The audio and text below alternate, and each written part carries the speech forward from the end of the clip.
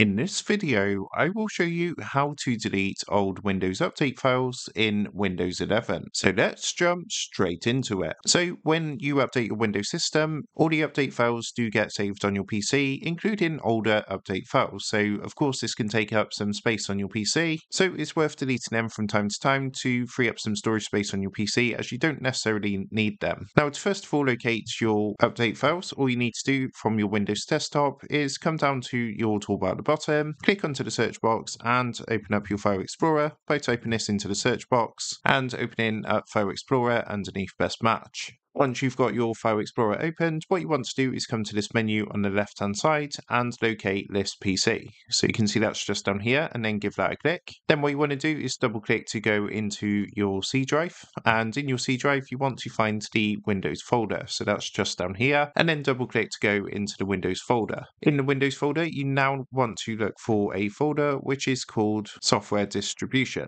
So if you actually scroll down it's in alphabetical order. You can see the folder is here, Software Distribution distribution, so double click to go into this folder. In this folder, what you now want to do is double click onto the download folder, and this is going to be where all your updates are stored, including older update files and things like that. So you don't actually need any of these files or folders. So at this point, to delete all your old Windows Update files, all you need to do is simply hold down Control and A on your keyboard once you've selected one of the folders, and it's going to select all the folders and files. Then what you want to do is right click onto any of the folders, and you're going to get this menu come up, and as you can see, we can delete it by just clicking the trash can icon just up here. So what it's going to do is move this to your recycle bin.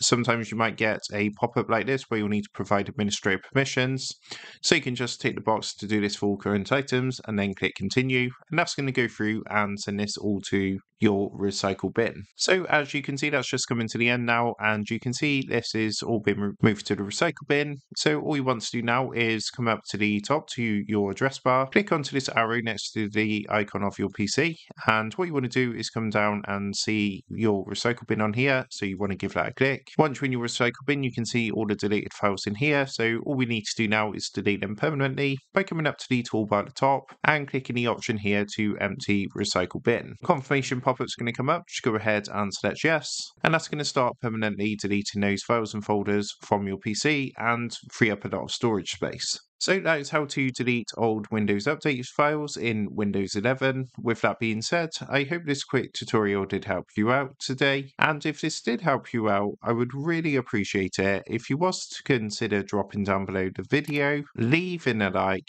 and also subscribing to the channel. With that being said, I just want to take a minute. Thank you guys for watching this quick tutorial, and I will see you in the next video.